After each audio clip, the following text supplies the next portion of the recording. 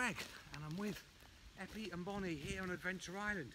And we've come to this amazing tree right behind me because Eppie spotted something. Can you see? Here on the tree, there's a secret letter waiting for us. And it's the letter P. P. That's right, the letter P. And Eppie and Bonnie think that this letter belongs to a brand new character that we haven't met before here on the island. And Eppie's telling me that there's a gift for us waiting here at the tree if we know our doubles. Is that right, Eppie? Yeah, Bonnie, are you sure? Yeah, okay. Well, apparently we've got to know what certain numbers are when they are doubled. So hopefully at home you can help us with this because Eppie wasn't so sure. But look, ready? If I want to know what double one is, I put one upon this finger. Oh, Eppie's in the way. One. Now double one, put another one up. How many have I got all together? That's right, two. Double one is two. Oh, we've got that one, Bonnie. Double one is two. Let's try this one. I wonder what double two is. Two on this finger, on this hand, sorry, and two on this hand. They're double. Ready? What's double two? One, two, three, four. Yeah, double two is four. Is that right, Eppie? Are we okay with that? Yeah. Oh, she's coming and sniffing along. Yeah, look, Eppie, double two is four. Yeah. What about this one? This is super hard. What about double three? Three on one side, so we must have three on the other. What is double three? One, two, three, four, five, six. Double three is equal to six.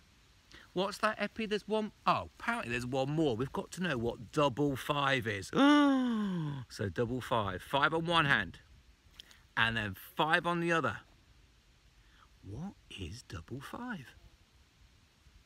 That's right, it's 10. Double 5 is 10, and it will always be equal to 10, double 5.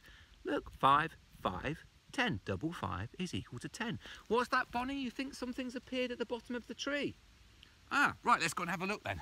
Come on, Eppie, let's go and see. Come on, let's have a look. Oh, my goodness, you were right. Look, Eppie. Yes, Bonnie. Come on, let's go and show them. We've got it. Look, we found something. Yes, thanks for all your help. This looks really cool, doesn't it? I wonder. Look, it's a little mini message centre. I wonder what's inside it. Shall we see? Oh, look, there's a message, and I think I can see some writing in there. Let's open it up. Hey, Eppie and Bonnie, check this out. Look. Look at this. Look, Eppie's come to read it. Can you see Eppie? Bonnie, can you see it? Yeah, I know. Bonnie just read it. I wonder whether you can help us read it at home. Ready? It's a message just for us. Come to the party. Come to the party.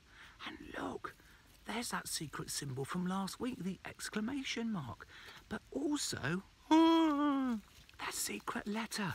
It's from whatever character it is whose name begins with P. Come to the party. So someone's having a party, Bonnie. I wonder who it can be.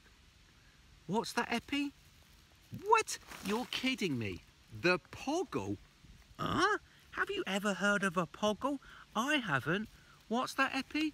It's this way. Right, okay. Apparently, the Poggle lives over this way. We're going to go and follow um, follow Eppie. I think Eppie's already gone to go and have a look. We're, I'm going to go and follow Eppie. Come on, Bonnie. Let's go. Let's go and find the Poggle. Ready? Let's go.